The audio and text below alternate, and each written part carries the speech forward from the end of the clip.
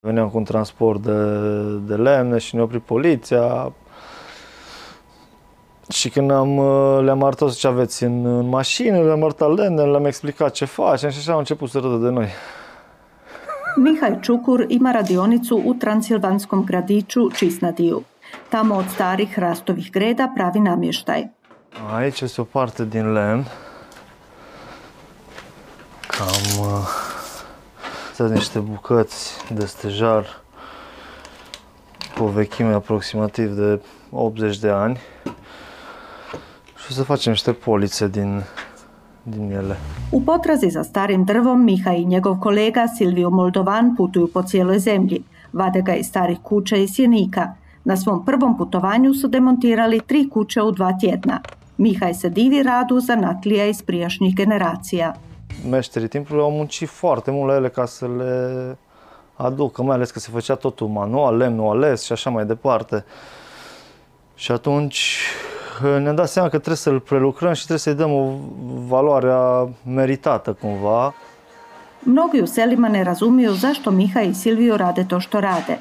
Pritom je, kaže Mihaj, staro drvo puno kvalitetnije od novog. 2015. su dvojica školskih prijatelja osnovala svoj mali obrt. U početku su se educirali u školi i online nastavi. Miha je inače kuhar i prije osnivanja vlastite tvrtke je u toj struci radio u Španjolskoj i Njemačkoj. Započeli su od nule i upustili se u veliku poslovnu avanturu. Prvi godina su sve što su zaradili ulagali u strojeve i opremu. Danas od svog rada mogu živjeti. El e foarte, foarte sănătos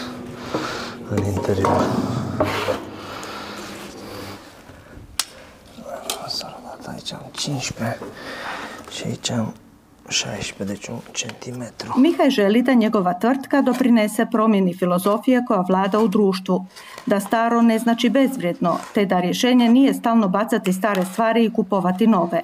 Nu moare niciun arbor când lucrăm noi. Chestia asta ar putea să o facă cât mai multă lume, adică să recicleze și să salveze ce, ce poate, pentru că e, perioada de, e o perioadă de consumerism, care toată lumea consumă, cumpără chestii și mai puțină lume se gândește să recicleze și să facă ceva, să-i dea o nouă viață în lucru. Sibiu, sajam zanata u Astri, muzeju na otvorenom. Iako je subota i iza njega je naporan radni tjedan, Mihaj koristi priliku da na ovakvim manifestacijama predstavi svoj rad i svoje ideje.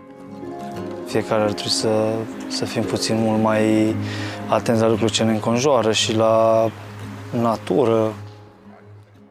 Serious Wood postoji već deset godina.